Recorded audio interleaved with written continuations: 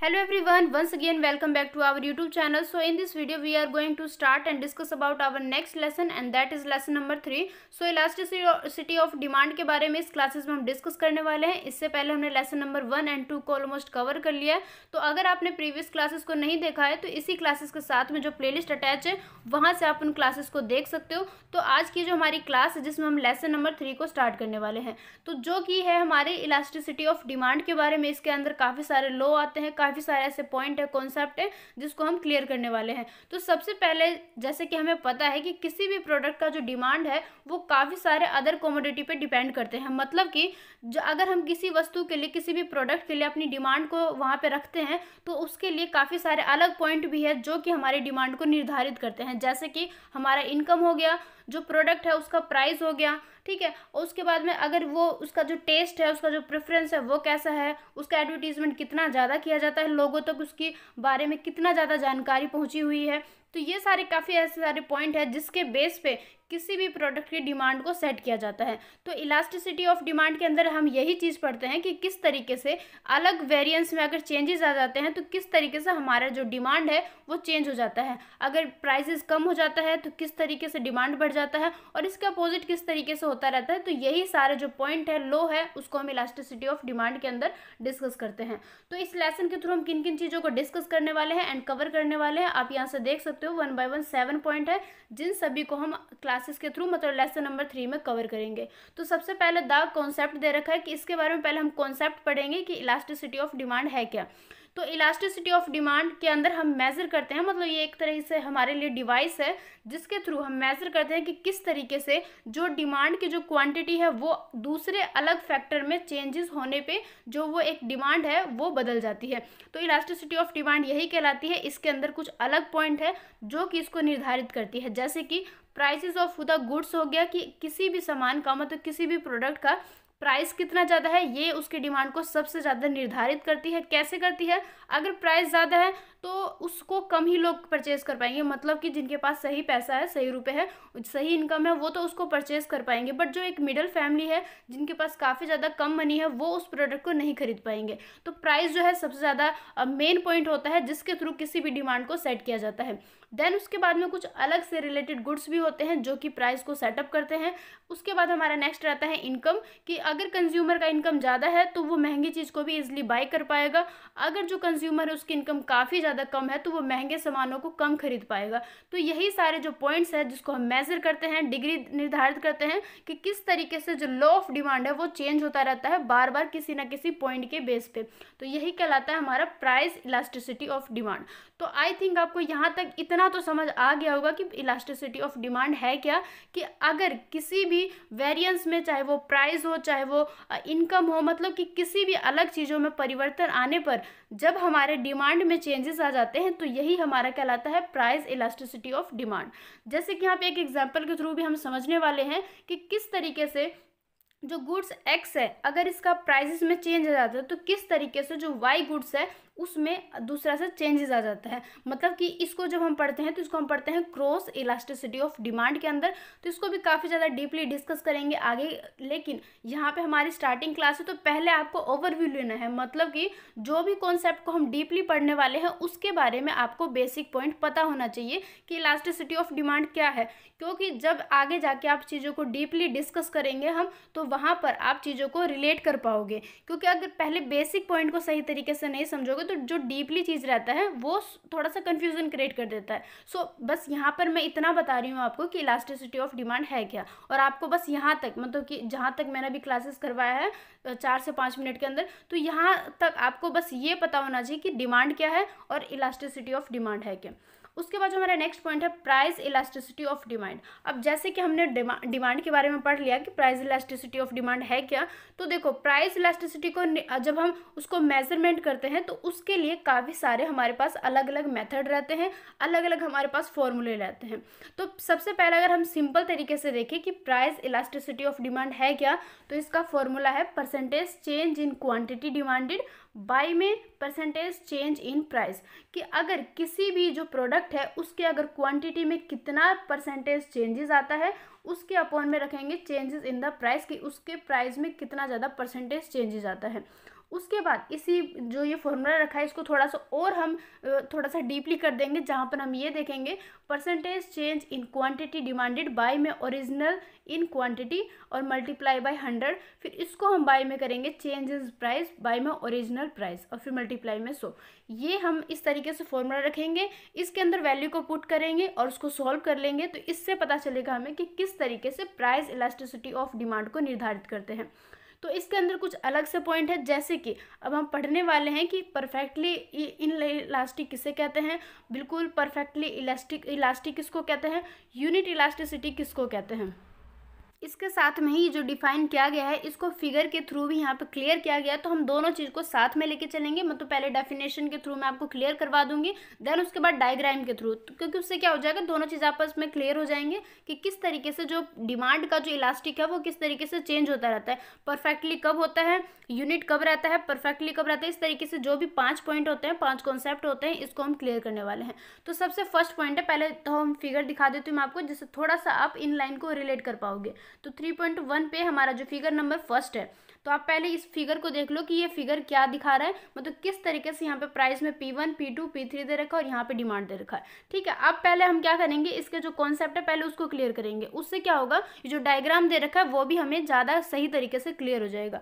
तो इसका मतलब ये है कि ये फ़र्स्ट केस है जिसमें हम देखते हैं जो प्राइस का जो इलास्टिक है वो कैसे चेंज हो जाता है? तो सबसे पहले इसका जो नाम है that is perfectly inelastic तो इसके अंदर क्या देखा जाता है कि when there is no change in the quantity कि किसी भी प्रोडक्ट के क्वांटिटी में अगर कोई भी चेंज नहीं आता है then in response to a price change elasticity of elasticity of demand is said to be equal to zero और demand is described as perfectly inelastic मतलब कि अगर किसी भी प्रोडक्ट के जो क्वांटिटी रहता है, उसके डिमांड में अगर कोई भी चेंजेस नहीं आता है तो वो कहलाता है हमारा परफेक्टली इन इलास्टिक इस लाइन का मतलब ये है कि देखो, मैं आपको डायग्राम के थ्रू आपको क्लियर करवाती हूँ कि जब अगर प्राइजेस में किसी भी तरीके से चेंजेस आता रहता है मतलब कि देखो, पहले प्राइजेस पी वन था, फिर पी टू हो गया, फिर पी थ्री हो गया मतलब कि जो प्राइजेस है वो बढ़ती जा रही है। लेकिन उसके डिमांड में कोई भी फ़र्क नहीं आ रहा। जो आपका डिमांड है वो बिल्कुल फिक्स है। यहाँ पे देख सकते हो बिल्कुल लाइन बनी हुई है सीधी। डिमांड जो है, जैसे कि हमें पता है कि अगर प्राइस बढ़ता है तो डिमांड पीछे की तरफ़ आ जाता है, घट जाती है। अगर डिमांड प्राइजेस कम हो जाता है तो जो डिमांड है वो आगे की तरफ़ चला जाता है। इनको आप आगे के पॉइंट में समझोगे। तो यहाँ पर क्या दिखाई दे रहा है आपको कि जैसे कि प्राइजेस तो ऊपर जाता रहा है मतलब P one P two P three इस तरीके से बढ़ती जा रही है। लेकिन जो आपका डिमांड है, वो वहीं के वहीं है। इसका मतलब ये है कि सिंपल सी लाइन में अगर मैं आपको क्लियर करवाऊँ तो अगर प्राइजेज में कितनी भी चेंजेस आ जाए, लेकिन उसके अकॉर्डिंग अगर डिमांड में कोई भी चेंजेस नहीं आता है तो हम उसको कहेंगे, क्या कहेंगे? इन इलास्टिक मतलब यहाँ पे दिखाया भी गया है कि इसको हम कहेंगे परफेक्टली इन इलास्टिक कि इसके अंदर प्राइजेस में चेंजेस आने पे, डिमांड के क्वांटिटी में उसके जो डिमांड करते, किया जाता है कि किस तरीके से वो आगे बढ़ रहा है, वो बिल्कुल भी चेंज नहीं होगा। तो ये हमारा फ़र्स्ट पॉइंट था, आपको सही तरीके से समझ आ गया होगा। मैं दोबारा लाइन को रिपीट कर रही हूँ, ताकि अगर पीछे कोई भी कन्फ्यूज़न हो तो वो आपको क्लियर हो जाए। कहने का मतलब ये है कि परफेक्टली इन इलास्टिक कब होगा? जब प्राइसेस में चेंजेस आने पर उसके डिमांड में कोई भी फ़र्क ना आए that is called perfectly inelastic कि हमारा प्राइस बढ़ता जा रहा है घटता जा रहा है उससे कोई फ़र्क नहीं पड़ रहा। हमारा जो डिमांड है वो वहीं के वहीं है। एग्ज़ाम्पल के थ्रू समझ लेते हैं, अपनी लाइफ से रिलेट करके मान लो आप एक दूध लेके आते हो, वो मान लो थर्टी रुपीज़ का है, वो थर्टी से थर्टी फाइव हो जा रहा तब भी आप उसके एक किलो को खरीद रहे हो, वन के जी आप लेके आ रहे हो घर में। अगर उसका प्राइस तीस से पच्चीस हो जाता तो भी आप एक किलो ही लेके आओगे, वन के जी ही खरीदोगे। अगर उसका प्राइस थर्टी से फोर्टी भी क्यों ना हो जाता, तभी भी आप वन के जी ही खरीद के लाओगे। तो ये कौन सा एग्ज़ाम्पल हो गया? ये एग्ज़ाम्पल हो गया परफेक्टली इन इलास्टिक का तो आई थिंक अब आपको जाके क्लियर हो गया होगा एग्ज़ाम्पल के थ्रू जब मैंने आपको डिफाइन कर दिया। देन उसके बाद जो हमारा सेकेंड कंडीशन है, उसके अंदर हम किस तरीके से समझते हैं? पहले तो आप इसके फिगर को, इसके डायग्राम को देख लो कि यहाँ पर इस तरीके से बताया गया है। ये जो है फ़र्स्ट कंडीशन के थोड़ा सा अपोजिट हो जाता है। इसमें क्या होता है? जो प्राइस है, वो फिक्स हो जाती है और जो इसका जो क्वांटिटी है, वो बढ़ती चली जाती है। तो इसको अभी हम पहले, इसके जो लाइन है, उसके थ्रू पहले क्लियर कर लेते हैं, क्योंकि आपको एग्ज़ाम में तो लाइंस के थ्रू ही चीज़ों को डिफाइन करना है मतलब कि आंसर को लिख के उसको बताना ही है तो इस वजह से पहले हम इन लाइन के थ्रू कंप्लीट कर लेते हैं कॉन्सेप्ट को क्लियर कर लेते हैं। तो सेकेंड जो कंडीशन है, उसके अंदर ये बताया गया है when there is an infinite change in quantity demand due to a change in price elasticity of demand is set to be equal to infinity और demand demand for the good is described as perfectly elastic इसका मतलब ये है कि जब कि जब demand में इन्फिनिट इन्फिनिट का मतलब है कि वो चीज़ फिक्स नहीं है, कहीं पे भी वो बिल्कुल स्थिर नहीं होएगा, वो बढ़ता है या घटता जाएगा। मतलब कि वो बढ़ भी सकती है, वो घट भी सकती है, वो डिपेंड करता है हमारे सिचुएशन पे। लेकिन अगर प्राइस जो है वो बिल्कुल फिक्स रह जाएगा तो ये कहलाएगा हमारा परफेक्टली इलास्टिक अब आप डायग्राम के थ्रू समझो इस चीज़ को कि यहाँ पर जैसे प्राइस दे रखा है, यहाँ पर हमारी क्वान्टिटी रहती है। ये चीज़ तो फिक्स रहती है। जैसे कि आपने थर्ड लेसन पाए तो आपको इतना तो पता ही होगा कि यहाँ पर प्राइजेस को शो करते हैं वाई एक्सिस पे और जो इसका एक्स एक्सिस है, इस पर हम क्वांटिटी को शो करते हैं और इसको यहाँ से मेज़रमेंट करते हैं। तो यहाँ पर क्या बताएगा, जो प्राइस है वो तो फिक्स हो जाते हैं, लेकिन जो क्वांटिटी है वो बढ़ती चली जाती है। बढ़ भी सकती है, वो घट भी सकती है, वो डिपेंड करता है हमारे कंडीशन पे तो वो टाइम पे डिपेंड करता है। लेकिन जो एक, यहाँ पे हम जो जिस कॉन्सेप्ट की बात कर रहे हैं, उसके अंडर में इसी चीज़ को डिफाइन किया जाता है कि प्राइजेस फिक्स हो जाती है, जो डिमांड का जो क्वांटिटी रहता है वो बढ़ती घटती चली जाती है। जैसे कि किसी भी प्रोडक्ट का मान लो जो प्राइस है वो ट्वेंटी रुपीज़ है। अब वो प्राइ वो प्राइजेस ठीक है हमारे लिए ओके हम उस चीज़ को खरीद रहे हमारा जब मन कर हम उसको ज़्यादा खरीद ले रहे हमारे वो फैमिली के कंजप्शन पे है कि हम कितना ज़्यादा ले रहे कितना कम ले रहे मान लो हमारा टेस्ट बदल रहा है, हम कुछ और भी ले रहे हैं साथ में तो हम उस चीज़ को कम खरीदने लगेंगे। तो हमारा जो डिमांड है कम भी हो सकता है। अगर वो चीज़ हमें सही लगा, हमारा कंजप्शन ज़्यादा हो रहा हमारे फैमिली में तो हम उस चीज़ को ज़्यादा भी खरीदने लग जा रहे हैं। तो ये क्या हुआ? यहाँ पर प्राइजेस में चेंजेस नहीं आ रहा, लेकिन जो हमारा क्वान्टिटी है, उसमें चेंज आता रहा है। तो इसी को हम कहेंगे परफेक्टली इलास्टिक तो ये दो कॉन्सेप्ट आपको क्लियर होंगे कि इसके पाँच है और देखो लेसन नंबर थ्री में सबसे मेन इंपॉर्टेंट पॉइंट यही है जो यहाँ पर हम पाँच कॉन्सेप्ट को समझते हैं कि किस तरीके से जो डिमांड का इलास्टिक है उसमें चेंज आता रहता है। तो इन पाँचों पॉइंट को आपको सही तरीके से समझना है, बिल्कुल क्लियर रखना है, कोई भी कन्फ्यूज़न नहीं रखना। अगर आप चाहो तो इसको अपने किसी भी कॉपी में जहाँ पे भी आप नोट्स बनाते हो, चीज़ों को लिख के और साथ में एक एग्ज़ाम्पल भी डाल देना, उससे क्या हो जाएगा? इन फ्यूचर के लिए वो चीज़ें आपको याद रह जाएँगे। नाउ अब डिस्कस कर लेते हैं अपने थर्ड कंडीशन को। इस कंडीशन का नाम है यूनिट इलास्टिसिटी इसके अंदर क्या होता है कि जितनी ज़्यादा, पहले हम लाइन के थ्रू समझ लेते हैं, फिर मैं आपको एग्जांपल बता दूँगी कि if the percentage change in quantity demanded is equal to the percentage change in price elasticity of demand is set to be equal to be equal to one and demand for the goods in question is described as of unit elasticity इस line का मतलब ये है कि यहाँ पर ये बताया गया कि कितना, अगर प्राइजेज में जितना चेंजेस आ जाता है तो उसके अकॉर्डिंग ही उतनी ही ज़्यादा अगर उसके क्वांटिटी में चेंजेस आ जाते हैं तो that is called unit elasticity नहीं समझ आया? मैं इसको आपको एग्ज़ाम्पल के थ्रू बताती हूँ। मान लो किसी भी जो प्रोडक्ट है, जो भी हम परचेज करते हैं अपने डेली लाइफ में, उसका प्राइस मान लो थर्टी रुपीज़ है। थर्टी रुपीज़ पे हम उसकी वन क्वांटिटी को लेके आते हैं मतलब कि तीस रुपये का कोई सामान है, हम उसको एक लेके आते हैं। जैसे उसका प्राइस जो है तीस से बीस हो गया वैसे ही हमने क्या किया उस प्राइस की जो क्वांटिटी है उसको हम दो खरीदने लगे। जैसे ही वो तीस रुपये से चालीस रुपये हो, हो गया हमने क्या किया उस चीज़ को आधा मतलब कि मान लो उसका हाफ़ खरीदने लगे मतलब वन के जी के जगह पे हम हाफ़ के जी लाने लगे। ठीक है? अगर मान लो उसका जो प्राइजेस है अगर वो तीस से लेके बीस पे आ जाता है दस पे आ जाता है तो हमने क्या किया हमारी जो क्वांटिटी है वो भी तो बढ़ गई ना साथ साथ तो इस तरीके से हम कह सकते हैं कि जितनी ज़्यादा प्राइसेस में चेंजेस आ रहे हैं, उसके अकॉर्डिंग उतने ही ज़्यादा क्वांटिटी में चेंज आना that is called unit elasticity तो यहाँ पे आप डायग्राम के थ्रू मैं आपको क्लियर करवा देती हूँ कि मान लो, यहाँ पर डायग्राम को ध्यान से समझना कि यहाँ पर जो हमारा क्वांटिटी है, यहाँ पर हमारा प्राइजेस है वाई एक्सिस पे। जो हमारा प्राइस था पहले ई e था तो हम उसकी डिमांड हम उस प्रोडक्ट को कितना खरीद रहे थे? एच तक खरीद रहे थे। और थोड़ा सा जूम करके दिखा देती हूँ आपको कि यहाँ पर देखो, जैसे ही उसका प्राइस जो ई e था तो हम उसको एच खरीद रहे थे मतलब एच उसकी क्वांटिटी को ले रहे थे। जैसे उसका प्राइस जो है ई e से लेके ए हो गया, हमने क्या किया? तुरंत उस प्राइस जो वो प्रोडक्ट है, उसको हमने कम खरीदना स्टार्ट कर दिया और हमने उसकी क्वांटिटी को सी तक खरीदना स्टार्ट कर दिया। जैसे ही वो ई e से जो प्राइस है वो जे हो गया मतलब जो प्राइस है वो कम हो गया, वैसे ही हमने तुरंत क्या किया? उसकी क्वांटिटी को ज़्यादा खरीदना स्टार्ट कर दिया। कहने का मतलब ये है कि अगर एक प्राइस फिक्स है, मान लो प्रोडक्ट को जब हमने खरीदा स्टार्टिंग में तो वो हमने इतना खरीदना स्टार्ट कर दिया एच पॉइंट तक। जैसे उसका प्राइसेस बढ़ रहा है ये एग्ज़ाम्पल को मैंने यहाँ पर नोट डाउन कर दिया जिससे आप अब सही तरीके से समझ पाओगे। जैसे कि मान लो अगर उसका प्राइस जब उसका पचास रुपये था तो हम उसको पाँच खरीद रहे थे। मान लो कुछ भी मान लो पेन मान लो पेंसिल मान लो, आपको बस क्लियर करना अपने कॉन्सेप्ट को कि पचास रुपये भी किसी भी सामान को आप पाँच क्वान्टिटी उसको खरीद रहे थे। जैसे उसका प्राइस जो कम हो गया, आपने क्या किया? आप उसको ज़्यादा खरीदने लगे। जैसे जो प्राइजेस है पचास से साठ हो गया मतलब फिफ्टी से सिक्सटी हो गया, आपने तुरंत क्या किया? उसकी क्वान्टिटी को फाइव से फोर कर दिया। मतलब कि प्राइस के अकॉर्डिंग आप क्या करो? सामान को कम ज़्यादा खरीद रहे हो। तो यही एक कॉन्सेप्ट है जो कि बताता है इस, जो हमने अभी समझा है इस पूरे कॉन्सेप्ट को। तो आई थिंक आपको ये समझ आ गया होगा, ये भी जो हमारा थर्ड कॉन्सेप्ट था, जिसके अंदर हम ये देखते हैं कि प्राइजेस में कितनी ज़्यादा चेंजेस आने से उसकी क्वांटिटी में कितना ज़्यादा चेंजेस आ जाता है। तो ये हमारा थर्ड कॉन्सेप्ट था तो अब आपको जाके सही तरीके से समझ आ गया होगा कि यूनिट इलास्टिसिटी है क्या। तो अब ये जो फोर्थ कॉन्सेप्ट है, उसको स्टार्ट करने से पहले मैं आपको तीन कॉन्सेप्ट को बिल्कुल पक्का कर देती हूँ कि किस तरीके से तीनों को हमने सेट कर लिया। परफेक्टली इलास्टिक कब होगा? जब प्राइस में चेंजेस आने से उसके क्वांटिटी में, उसके कोई भी जो एक चेंजेस आता है, वो नहीं आएगा।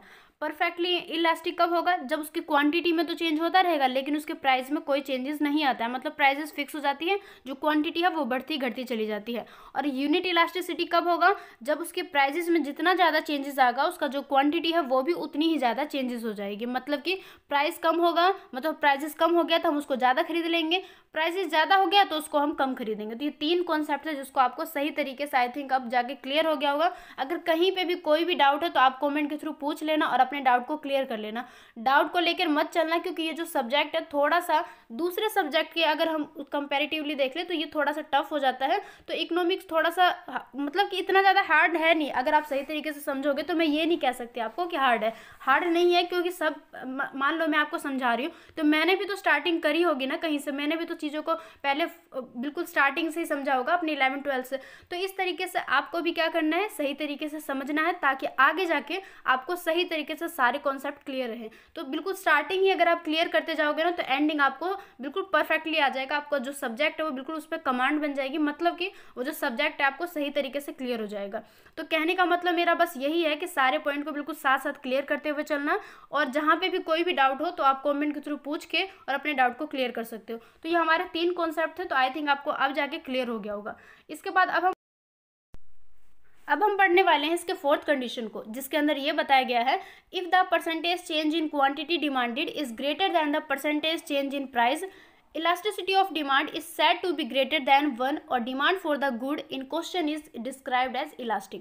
पहले आप डिमांड के, इसके जो डायग्राम दे रखा उसके थ्रू समझो कि यहाँ पर क्या बताया गया, मान लो आपका जो प्राइस है पी वन है तो आप उसकी क्वांटिटी को कितना ले रहे हो? पी क्यू ले रहे हो? मतलब कि पी क्यू तक आपको ऐसे मान के चलना है उसके बाद क्या हुआ? जैसे ही प्राइसेस कम हो गया, आपने उसके जो क्वांटिटी है, उसको आपने ज़्यादा परचेज कर लिया। मतलब प्राइस कम हो गया तो हमने उस सामान को ज़्यादा खरीद लिया।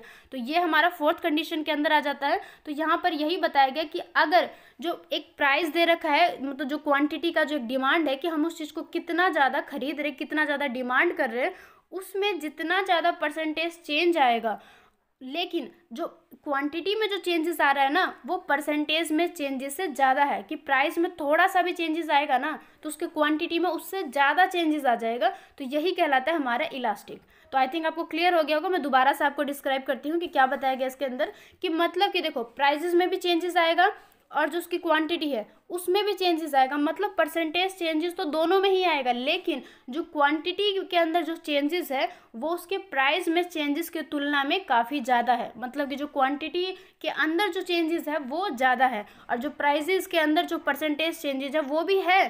चेंजेस तो उसके अंदर भी है, लेकिन वो क्वांटिटी ऑफ़ जो परसेंटेज है, उसके चेंजेस से कम है। मतलब प्राइस का जो परसेंटेज है, वो कम है, और जो क्वांटिटी का जो परसेंटेज है, वो ज़्यादा है। तो ये कहलाएगा हमारा इलास्टिक इसके बाद जो फिफ्थ कंडीशन है इसके अंदर जस्ट अपोजिट बताया गया है।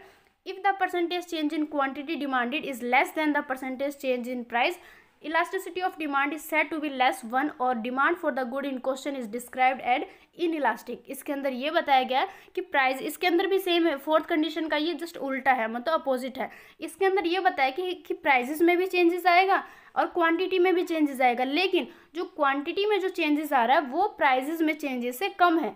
फोर्थ कंडीशन में कौन था? क्वांटिटी ऑफ़ परसेंटेज का जो चेंजेस था, वो ज़्यादा था। फिफ्थ कंडीशन में ऐसा नहीं है, इसमें क्या हो जाएगा? उल्टा हो जाएगा अपोजिट हो जाएगा। इसमें जो प्राइजेस में जो चेंजेस आ रहा है, वो क्वांटिटी में चेंजेस से ज़्यादा है। तो इसको हम क्या कहेंगे? इन इलास्टिक जहाँ पर जो क्वांटिटी ऑफ़ डिमांड है, इसमें कम चेंजेस आता है, जिसका प्राइसेस है, इसके जो परसेंटेज चेंज है, उसमें ज़्यादा है। यहाँ से आप देख भी सकते हो, इस जो ये डिमांड का जो ये यहाँ पे फिगर बनाया गया है डायग्राम इसके थ्रू भी आप देख सकते हो कि पी टू से पी वन कितना ज़्यादा है, लेकिन वहीं पे क्यू वन से क्यू टू कितना ज़्यादा कम है। तो यहाँ से भी आपको चीज़ें क्लियर हो सकती है, जबकि जो फोर्थ कंडीशन है, इसमें देखो प्राइसेस में कितना कम चेंजेस है, लेकिन जो क्वांटिटी है, यहाँ पे देखो इस लाइन को जो मैं डॉटेड करके बता रही हूँ तो यहाँ पे देखो कितना ज़्यादा चेंजेस है, लेकिन पी में जो प्राइस है, उसमें काफ़ी कम परसेंटेज चेंजेस है। और जबकि फिफ्थ कंडीशन में देखो, यहाँ पे प्राइजेस में कितना ज़्यादा डिफरेंस है, लेकिन जो क्वांटिटी है, उसमें कितना ज़्यादा कम, जो एक डिफरेंस है। तो ये पाँच कंडीशन थे जो कि काफ़ी ज़्यादा इंपॉर्टेंट है जब हम इकोनॉमिक्स को स्टार्ट करते हो तो आप किसी भी सब्जेक्ट में मतलब आप चाहे ग्रेजुएशन कर रहे हो मास्टरी कर रहे हो मतलब कोई भी आप कोर्स करोगे, और जब इकोनॉमिक्स स्टार्ट होगा तो हमारा स्टार्टिंग यहीं से होता है। जो कॉन्सेप्ट इसको क्लियर करना काफ़ी ज़्यादा इंपॉर्टेंट रहता है। तो इसी को पढ़ते हैं हम इलास्टिसिटी ऑफ़ डिमांड के अंदर, कि किस तरीके से जो डिमांड कर्व है, वो चेंजेस होते रहते हैं। इसके अंदर पाँच कंडीशन आते हैं, जिसको हमने क्लियर कर लिया है। तो आई थिंक आपको ये पाँचों कंडीशन सही तरीके से क्लियर हो गया होगा। अगर कहीं पे भी कोई डाउट हो तो आप कमेंट के थ्रू मुझसे पूछ लेना और अपने डाउट को क्लियर कर लेना। तो यहाँ से आप देख सकते हो, यहाँ पे एक्सरसाइज भी बताया गया यहाँ पर आप जो क्वेश्चन अभी अभी हमने डिस्कस किया, उसको समझ के आप इन सबको आंसर दे सकते हो। यहाँ पे एम सी क्यू दे रखा है, इसमें से क्वेश्चन भी आते हैं। उसके बाद जो हमारा नेक्स्ट पॉइंट है measurement of elasticity of demand कि अब हम पढ़ेंगे कि इलास्टिसिटी ऑफ़ डिमांड को मेज़र कैसे किया जाता है मतलब उसको मापते कैसे हैं तो उसी पॉइंट को हम इस कॉन्सेप्ट के अंदर समझने वाले हैं। इसके मेज़रमेंट के तो काफ़ी सारे तरीके हैं, लेकिन हम यहाँ पर तीन सबसे इम्पोर्टेंट जो मेथड है, इसको मेज़रमेंट का, उसको हम डिस्कस करेंगे आज की इस क्लास में।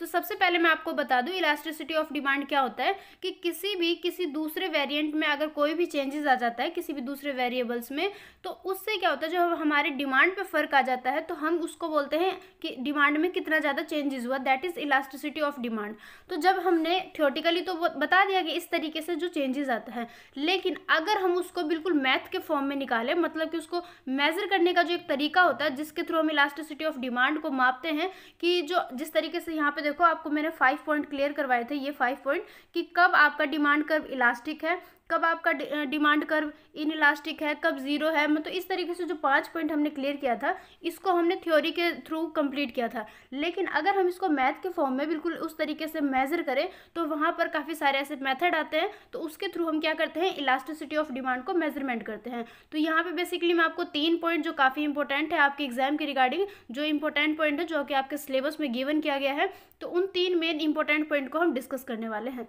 तो यहाँ पे देखो, नीचे स्क्रॉल कर लेते हो थोड़ा सा यहाँ से देख सकते हो आप मेथड ऑफ़ मेज़रमेंट कि यहाँ पर तीन ऐसे मेथड दे रखे हैं जिसके थ्रू मेजर करेंगे। तो सबसे फ़र्स्ट दे रखा है द टोटल आउटले मेथड अब हम सबसे फ़र्स्ट पहले ये डिस्कस कर लेते हैं कि टोटल आउटले मेथड के थ्रू हम किस तरीके से इलास्टिसिटी ऑफ़ डिमांड को मेज़रमेंट कर सकते हैं। तो सबसे पहले ऐसे हमें पता है कि एक्सपेंडिचर जो होता है वो इक्वल होता है किसके? क्वांटिटी बोट मतलब क्वांटिटी को जितना हमने खरीदा है, जितना हमने परचेज किया मल्टीप्लाई में प्राइस क्योंकि देखो, अगर आप किसी भी शॉप पे जाते हो, कुछ भी सामान खरीदते हो तो आप क्या करते हो, उसके जितनी क्वांटिटी लेते हो आप, उसको उसके प्राइस से ही मल्टीप्लाई करते हो। फॉर एग्ज़ाम्पल अगर कोई जो मान लो पेन है जो टेन रुपीज़ का है हमने उसके चार पेन को खरीद लिया। तो हम उसको फोर्टी रुपीज़ ही देंगे। क्यों देंगे? क्योंकि अगर वो टेन रुपये का है और हमने उसको फोर खरीदा है फोर पेन लिया है तो हम उसको मल्टीप्लाई कर लेंगे। टेन मल्टीप्लाई बाई फोर तो इक्वल में फोर्टी आ जाएगा। तो हमने कितना एक्सपेंड कितना हमने एक्सपेंस किया? कितना एक्सपेंडिचर किया हमने? फोर्टी किया। तो ये क्या है? ये एक्सपेंडिचर का एक तरीका होता है जो कि हमारे नॉर्मल लाइफ में हर कोई पर्सन यूज़ करता है। चाहे वो पढ़ाओ, ना पढ़ाओ, इतना सबको पता रहता है कि किस तरीके से जो एक्सपेंडिचर है उसको हम नापते हैं या हमें पता रहता है कि किसी भी चीज़ को अगर हमने परचेज़ किया है तो हमें सामने वाले पर्सन को कितना ज़्यादा अमाउंट पे करना है। तो ये तो हो गया हमारा कि एक्सपेंडिचर कैसे फाइंड करते हैं। उसके बाद से डिफाइन करता है चीज़ों को कि जैसे कि when due to price change the quantity demanded of a good change कि जैसे कि हमें पता है कि अगर प्राइस में चेंजेस आ जाता है तो उससे क्या होता है कि हमारा किसी भी प्रोडक्ट के लिए जो हमारा डिमांड रहता है उसके क्वांटिटी में चेंजेस आ जाता है। मतलब कि हम उसके अमाउंट को जितना खरीदते हैं उसमें चेंजेस आ जाता है प्राइस के अकॉर्डिंग या तो हम कर, कम खरीदते हैं या तो हम उस चीज़ को ज़्यादा खरीदने लग जाते हैं। इसके अकॉर्डिंग क्या होता है कि जो हमारा जो टोटल आउटले है उसमें चेंजेस आ जाता है। जैसे मैंने अभी भी बताया आपको कि जैसे कि प्राइजेस ज़्यादा हो गए तो आप क्या करोगे उसके क्वांटिटी को कम खरीदोगे। प्राइजेस अगर ज़्यादा हैं तो क्वांटिटी को कम खरीदेंगे। अगर उसका प्राइजेस कम है तो हम उसके क्वांटिटी को ज़्यादा खरीदेंगे। तो ये क्या है? ये जो हमारा बिहेवियर है, जिसके अकॉर्डिंग हम प्राइस पे डिपेंड रहते हैं कि जैसे ही प्राइसेस में कोई चेंजेस आता है, उसके अकॉर्डिंग ही हम क्या करते हैं? क्वांटिटी में चेंजेस कर देते हैं। इससे क्या होता है? जो हमारा टोटल आउटले है, वो चेंजेस हो जाता है। अब जैसे कि हमें पता है कि अगर if the percentage in the quantity demanded is greater than the percentage change in price कि जैसे कि हमारे क्वांटिटी में भी कुछ परसेंटेज चेंजेस आ रहा है, और हमारे परसेंटेज हमारे प्राइस में भी कुछ परसेंटेज चेंजेस चेंजेस आ रहा है। लेकिन अगर क्वांटिटी में होने वाला जो चेंज है, वो प्राइस में होने वाले चेंज से अगर ज़्यादा है तो इससे क्या होगा? The total outlay of consumer will be larger larger हो जाएगा, किससे हो जाएगा? Then before in case a fall in price कि जब प्राइस में जो कमी था या उसके प्राइस में जब कमी थी, जिसके, जिस टाइम पे उसके अकॉर्डिंग क्या हो जाएगा, जो हमारा टोटल आउटले है, उसमें चेंजेस आ जाएगा और वो लार्जर हो जाएगा। तो कहने का मतलब ये था कि जब टोटल आउटले मेथड हम पढ़ते हैं तो इसके अकॉर्डिंग हम ये जानते हैं कि किस तरीके से जो हमारा प्राइस के परसेंटेज में कुछ चेंजेस आता है, जो कि हमारे क्वांटिटी में होने वाले चेंजेस से ज़्यादा रहता है तो ये हमारे टोटल आउटले मैथड के अंदर आता है।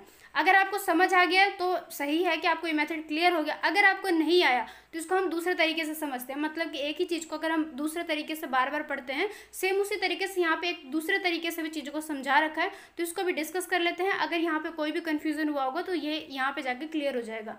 ऑन द अदर हैंड ये बता रखा है if the percentage change in quantity कि अगर आपकी क्वान्टिटी में कुछ परसेंटेज चेंजेस आ जाता है तो उससे क्या होगा? Demanded is less than the percentage change in price कि आपके परसेंटेज जो चेंज हुआ है प्राइस में, वो क्या हो जाएगा? आपके क्वांटिटी में होने वाले चेंजेस से कम है तो इससे क्या हो जाएगा? The total outlay of consumer will be smaller कि ये आपका जो टोटल आउटले है, उसमें चेंजेस आ जाएगा और वो स्मॉलर हो जाएगा. कैसे हो जाएगा?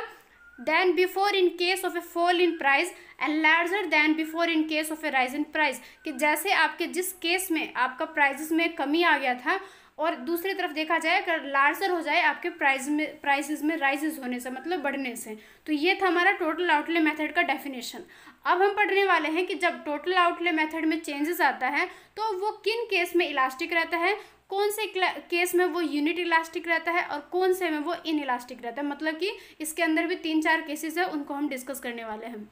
तो ये जो केसेस है, इनको समझने से पहले आपको इसका जो डेफिनेशन है, जो कि मैंने अभी अभी आपको बताया, ये क्लियर होना चाहिए। वैसे तो मैंने समझा दिया, मेरे को लगता है कि आपको समझ आ गया होगा। अगर फिर भी आपको लग रहा है कि आपको कुछ समझ नहीं आया तो आप अपने डाउट को कमेंट बॉक्स में सही तरीके से बता देना ताकि मैं उस चीज़ को वहीं पे एक्सप्लेन करके आपके डाउट को क्लियर कर पाऊँ। तो आई थिंक आप मेरी बात को समझ रहे हो कि आपको ये क्लियर होना चाहिए। अगर जहाँ पे भी कोई भी कन्फ्यूज़न है, कोई भी आपको यहाँ पे कन्फ्यूज़न क्रिएट हो रहा है तो आप कमेंट के थ्रू पूछ कर अपने डाउट को क्लियर कर सकते हो। तो ये तो था हमारा नॉर्मल सा जो एक टोटल आउटले मेथड के बारे में जो एक डेफिनेशन था कि इसको किस तरीके से डिफाइन किया जाता है।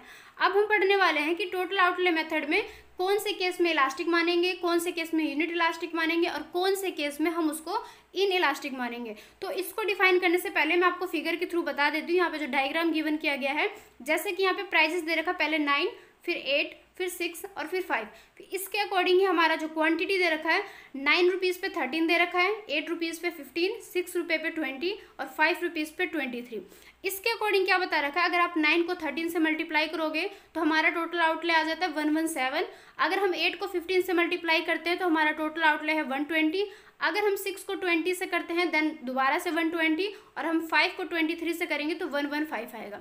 ये तो आपका सिंपल सा डायग्राम के थ्रू बता दिया। अभी हम इसको समझते हैं कि किस तरीके से चेंजेस को यहाँ पे दिखाया गया है।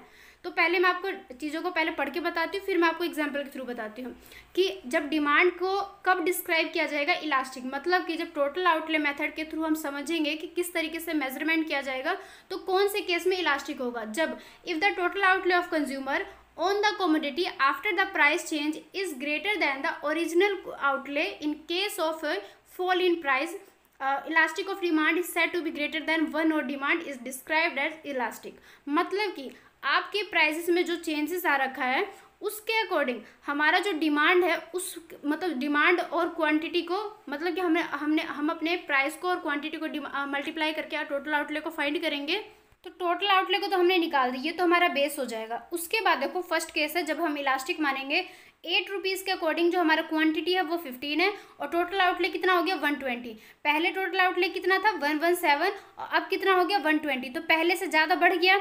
यहाँ पे तीन तीन का आपको डिफरेंस दिखाई दे रहा है। तो अगर हमारा जिस बेस पे हम कर रहे हैं मतलब कि टोटल आउटले जिस मतलब पहले के आधार पर जिस बेस पे हम कर रहे हैं, उसके अकॉर्डिंग अगर आपके टोटल आउटले में अगर बढ़ोतरी हो रही है मतलब कि इंक्रीजमेंट हो रही है, ज़्यादा बढ़ रही है तो उस कंडीशन में हम उसको कहेंगे इलास्टिक यहाँ पे लाइन भी भी लाइन के थ्रू भी डिफाइन किया गया है कि अगर कंज्यूमर का जो टोटल आउटले है, वो अगर बढ़ जाता है आफ्टर द प्राइस चेंजेस कि प्राइजेस में चेंजेस आने के बाद, जैसे यहाँ पे आप देख सकते हो ना नाइन के बाद प्राइजेस कितना हो गया?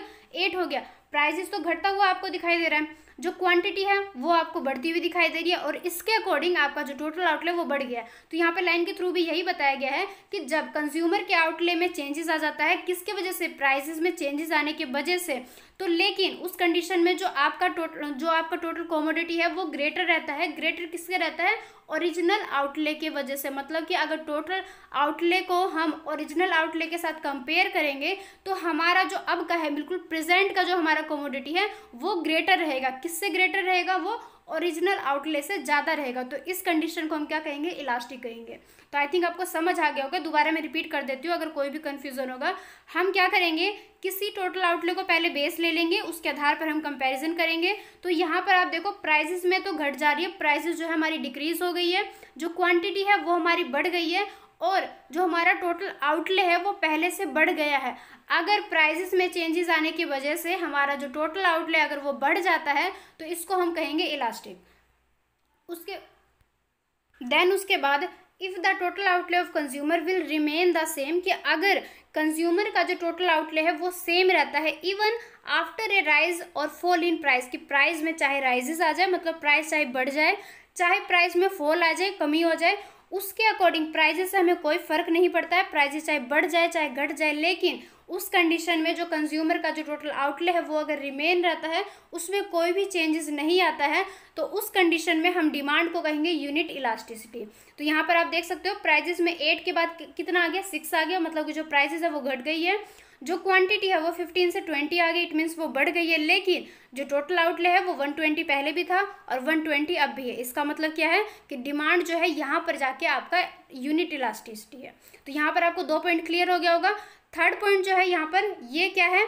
इन इलास्टिक है, जो कि फ़र्स्ट वाले का अपोजिट है। यहाँ पर क्या बताया गया? If the total outlay of consumer after the price change is less than the original outlay कि अगर ओरिजिनल आउटले के कंपैरिटिव मतलब उसके कंपेरेटिवली अगर हम देखेंगे तो जो कंज्यूमर का जो प्रेजेंट का जो आउटले है, वो अगर पहले की ओरिजिनल आउटले से कम है तो इस केस को कहेंगे हम इनलास्टिक जैसे कि एग्ज़ाम्पल के थ्रू देखो प्राइजेस जो है छः से पाँच आ गया क्वांटिटी जो है बीस से तेईस आ गया लेकिन जो हमारा टोटल आउटले है, वो पहले वन ट्वेंटी था और अब आ गया one one five it means यहाँ पे आपको पाँच का डिफरेंस दिखाई दे रहा है। तो इस कंडीशन को हम क्या कहेंगे? इन इलास्टिक तो ये तीन पॉइंट थे जो कि हमारे टोटल आउटले मेथड को डिफाइन करते हैं। तो आई थिंक आपको ये समझ आ गया होगा। फिर भी अगर कहीं पर भी कोई डाउट है तो आप मुझसे कॉमेंट के थ्रू पूछ के अपने डाउट को क्लियर कर सकते हो। और यहाँ पे जो लाइन गिवन किया गया है, इसमें वही लाइन बताया गया जो कि मैंने आपको डिस्क्राइब किया, आपको समझाया।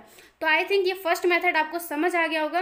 देन उसके बाद जो हमारा सेकंड मेथड है the graphical method of measuring elasticity point elasticity तो जब हम क्या करेंगे, अपने इलास्टिसिटी को ग्राफिकल फॉर्म में या ग्राफिकल वर्जन में उसको समझेंगे कि किस तरीके से जो परसेंटेज है वो चेंज हो जाता है, उसके अकॉर्डिंग जो हमारा क्वांटिटी डिमांडेड है, उसमें भी काफ़ी सारे चेंजेस दिखाई देते हैं। मतलब कि इलास्टिसिटी को आप कई तरीके से मेज़र कर सकते हो, लेकिन जब आप इलास्टिसिटी को ग्राफिकल फॉर्म में उसको समझते हो या उस वर्जन में उसको रिप्रेजेंट करते हो तो ये इस मैथड के अंडर आता है, जिसको अभी भी हमने देखा कि the graphical method of measuring elasticity तो इसको हम क्या करेंगे ग्राफ के थ्रू समझेंगे कि यहाँ पे आपको एक डायग्राम भी दिखाई दे रहा है जिसमें जो ये पॉइंट है वाई एक्सिस इस पे प्राइस को दिखाया गया है और जो आपका एक्स एक्सिस है, इस पे हमारे क्वांटिटी को दिखाया गया डिमांड को दिखाया गया है। तो बेसिकली यहाँ पे देखो आप, पहले जो आप, हमारा डिमांड था, वो ए ओ से लेके ए तक में दिखाया गया है। बाद में क्या हुआ, जो हमारे डिमांड है, वो ए से बढ़ के बी हो गया। तो यहाँ पर जो ये लाइन है, जो कि एक चेंजेस को दिखाई दे रहा है, कि यहाँ पर क्या है, जो हमारा डिमांड है, वो यहाँ पर चेंज हो गया। तो इसको हम क्या करेंगे ग्राफिकल फॉर्म में समझते हैं कि यहाँ पर ये दे रखा है when price falls from R A to B D कि जैसे ही जो प्राइस है वो फॉल हो गया प्राइस जो है वो कम हो गया। आर ए से बी डी हो गया मतलब यहाँ पे दिख रहा है आपको आर और ए ये जो सीधी लाइन है, यहाँ से लेके हमारा जो नेक्स्ट जो प्राइस लेवल हो गया, वो कितना हो गया? बी डी हो गया। इसके अकॉर्डिंग क्या हुआ? Quantity demanded increase from O A to O B तो इससे क्या हुआ? जो हमारे डिमांड है, वो ओ ए से बढ़ के ओ, बी हो गया। तो यहाँ पर ये जो आपको लाइन दिखा रही है, क्या है? ये चेंजेस है जो कि इलास्टिसिटी को मेज़रमेंट कर रहा है। तो यहाँ पर क्या है? हम इलास्टिसिटी के लिए एक यहाँ पे फॉर्मूले का यूज़ करेंगे, जहाँ पे ये दिखाया गया है डेल्टा क्यू दिखाया गया मतलब जो क्यू है क्यू है सॉरी डिमांड में सॉरी क्वान्टिटी में कितना ज़्यादा चेंजेस आया है बाई में वही लेंगे कि क्वांटिटी क्वांटिटी में कितना ज़्यादा चेंजेस आया है। मल्टीप्लाई में लेंगे पी अपॉन में क्यू मतलब कि प्राइस अपॉन में क्वांटिटी और इसी इसी डायग्राम को मतलब कि थोड़ा सा और हम डीपली करके इस इलास्टिसिटी को इस तरीके से मेजर करेंगे, जैसे कि हमने फॉर्मूला रख लिया कि पहले क्या करेंगे? क्वांटिटी में कितना ज़्यादा चेंजेस आया तो पहले हमारा चेंजेस कितना है? ए बी तो हम इसके जगह पे रख देंगे ए बी देन उसके बाद क्वांटिटी में फिर कितना चेंजेस आया? सी आर मतलब यहाँ पे आप देख सकते हो सी से लेके आर तक में। तो इसके बाई में रख देंगे सी आर पी के जगह पे प्राइस रख देंगे ए आर क्यू के जगह पे इसका क्वांटिटी रख देंगे ओ ए फिर उसको हम सॉल्व कर लेंगे। तो ये क्या है? एक तरीका है मेज़रमेंट का, जिसको हम इस तरीके से सॉल्व करते हैं। Lower segment of the demand curve by में upper segment of the demand curve कि डिमांड कर का जो ऊपर वाला लेवल है, ऊपर वाला जो भाग है, वो रखेंगे ऊपर में। जिसको हम नोमिनेटर पे रखेंगे और उसके डिनोमिनेटर पे रखेंगे हम अपर सिगमेंट की, जो उसका ऊपर वाला भाग है, ऊपर वाला लेवल है, उसको हम रखेंगे इसके डिनोमिनेटर पे। मतलब कि ऊपर वाले को लोअर को रखेंगे ऊपर और अपर को रखेंगे नीचे। इस तरीके से सॉल्व करके हम इस मेथड के थ्रू भी अपने इलास्टिसिटी को मेज़रमेंट कर सकते हैं। उसके बाद जो हमारा थर्ड है ए आर सी इलास्टिसिटी इसके अंदर थोड़े से दो पॉइंट दो पॉइंट के थ्रू इसको डिवाइड कर रखा है। इसमें ये बता रखा है, पहले आप इस जो ये डायग्राम दे रखा है, इसके थ्रू थोड़ा सा आइडिया ले लेंगे पहले, क्योंकि थोड़ा सा डायग्राम भी हमारे माइंड में रहता है। देन हम थ्योरेटिकल पढ़ते हैं तो क्या होता है, आपस में चीज़ों को रिलेट करने में और सही तरीके से समझने में काफ़ी ज़्यादा हेल्प करता है। तो यहाँ पर आप सबसे पहले डायग्राम को देख लीजिए किस तरीके से तीन कंडीशन को दिखाया गया है। तो सेम इसके अकॉर्डिंग ही अब हम इसके थ्योरेटिकल को समझ लेते हैं। सबसे फ़र्स्ट जो डायग्राम दे रखा है, इसके अकॉर्डिंग क्या बताया गया है? The elasticity of demand will be zero कि जब इलास्टिसिटी ऑफ़ डिमांड जब ज़ीरो रहेगा मतलब कि वो बिल्कुल शून्य रहेगा at all point such a demand curve is described as perfectly perfectly inelastic कि जहाँ पर हमारा जो डिमांड कर्व है उसमें किसी भी पॉइंट पर डिमांड जो है वो ज़ीरो है। तो मतलब यहाँ पे आपको फिगर के थ्रू भी दिखाई दे रहा है। प्राइजेज जो है वो बढ़ती जा रही है। मतलब पी वन से पी टू पी थ्री इस तरीके से बढ़ती जाएगी। लेकिन जो हमारा डिमांड कर्व है, वो बिल्कुल एक स्पेसिफिक पॉइंट पे फिक्स है। वो आगे की तरफ़ नहीं बढ़ रही है। इट मीन्स ये जो हमारा इलास्टिसिटी है, ये हमारा परफेक्टली इलास्ट इन इलास्टिक है। उसके बाद जो सेकंड कंडीशन है, यहाँ पर देखो ये बताया गया है कि जहाँ पर क्या हो जाएगा an infinite amount of the commodity is is broad at P one zero मैं आपको सिंपल लैंग्वेज में पहले बता दे, बता देती हूँ डायग्राम के थ्रू कि जहाँ पर हमारा जो प्राइसेस में चेंजेस कुछ नहीं आएगा मतलब प्राइजेस से कोई फ़र्क नहीं पड़ता है, लेकिन उसी फिक्स प्राइस पे हमारा जो क्वांटिटी का एक डिमांड रहता है, वो चेंज हो सकता है। मतलब वो बढ़ भी सकती है, वो घट भी सकती है। तो इस कंडीशन में क्या होगा? हमारा जो इलास्टिसिटी है, वो हो जाएगा हमारा परफेक्टली इलास्टिक उसके बाद जो थर्ड पॉइंट है, जहाँ पर क्या होगा? जो हमारा डायग्राम के थ्रू हम देख लेते हैं कि यहाँ पर क्या होगा? प्राइसेस में जितनी ज़्यादा चेंजेस दिखाई देगी, हमारे जो क्वांटिटी है, उसमें भी चेंजेस दिखाई देगा। लेकिन यहाँ पे क्या होगा? कुछ केसेस में प्राइसेस का जो एक परसेंटेज है चेंज होने का, वो उसके क्वांटिटी से ज़्यादा चेंजेस दिखाई देगा। कुछ केस ऐसे आएँगे जहाँ पर जो क्वांटिटी में होने वाला जो परसेंटेज है, वो हमारे प्राइस में होने वाले क्वांटिटी परसेंटेज से ज़्यादा रहेगा। तो इस वाले केस को हम क्या कहेंगे? जो हमारा थर्ड पॉइंट है, इसको हम कहेंगे इलास्टिसिटी और इसको हम रेक्टेंगुलर हाइपरबोला भी बोल सकते हैं। तो ये हमारे 3.4 जो हमारे फिगर दे रखा था, इसके थ्रू हमने क्लियर कर लिया। तो इस तरीके से क्या हम इलास्टिसिटी को मेज़रमेंट कर सकते हैं। उसके बाद ही इसको थोड़ा सा और ब्रीफली बताया गया the concept of A R C elasticity इसको थोड़ा सा और ज़्यादा डीपली बता रखा। है यहाँ पर इसके थ्रू हम भी समझ लेते हैं कि किस तरीके से प्राइजेस में चेंजेस आने से उनके क्वान्टिटी में। और क्वांटिटी में चेंजेस थोड़ा बहुत होता है तो वो प्राइस को किस तरीके से अफेक्ट करता है। तो यहाँ पर एक मेथड दे रखा है, जहाँ पर इस फॉर्मूले का यूज़ करेंगे।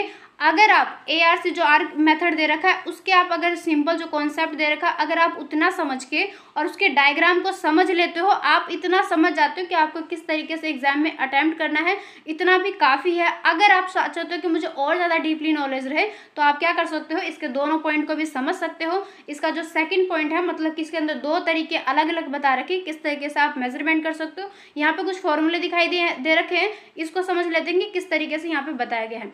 सबसे पहले बताया गया for measuring arc elasticity instead of picking up up any particular P and Q associated with मतलब कि ये दे रखा है कि किस तरीके से आप पी को फाइंड कर सकते हो। पी वन मतलब कि पहले वाला प्राइस प्लस में पी ज़ीरो अपॉन में टू तो यहाँ पर हम किस तरीके से देखेंगे? The average of two end values जिसको हम पी ज़ीरो के थ्रू डिनोट करेंगे और जो हमारा ओरिजिनल प्राइस कहलाएगा, वो हमारा पी ज़ीरो कहलाएगा। उसके बाद जो हमारा पी वन है, वो चेंजेस दिखाई देगा कि किस तरीके से जो हमारा प्राइस है, उसमें चेंज हो जाएगा।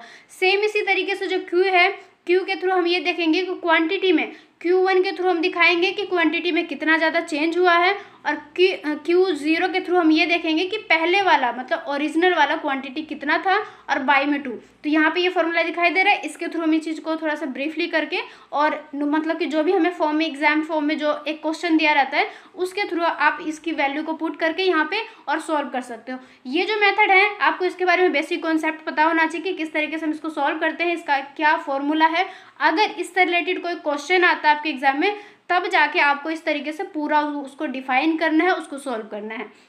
तो हम यहाँ पे थोटिकल देख रहे हैं तो इस तरीके से जो हमारा पॉइंट है, ये इस तरीके से समझाया जाएगा।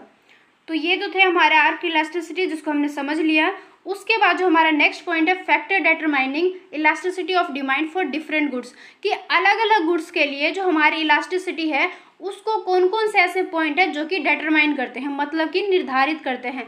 क्योंकि ऐसे तो हमें पता है कि डिमांड और प्राइस का आपस में काफ़ी ज़्यादा कनेक्शन रहता है, इसके थ्रू दोनों में चेंजेस आता है बट काफ़ी सारे अलग पॉइंट भी है जो कि किसी भी गुड्स के, किसी भी प्रोडक्ट के इलास्टिसिटी को अफेक्ट करते हैं तो इन्हीं सारे पॉइंट को हम यहाँ पे डिस्कस करेंगे।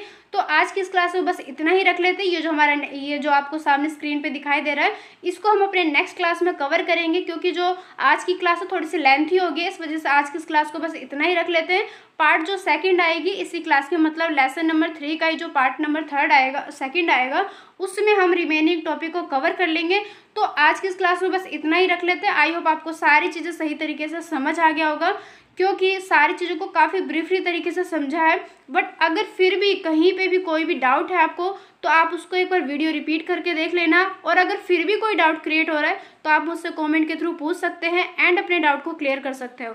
तो मेरा कहने का मतलब बस यही है कि चीज़ों को सही तरीके से समझ के चलना, कोई भी डाउट हो तो आप कमेंट के थ्रू पूछ लेना, कोई भी डाउट को क्रिएट मत होने देना।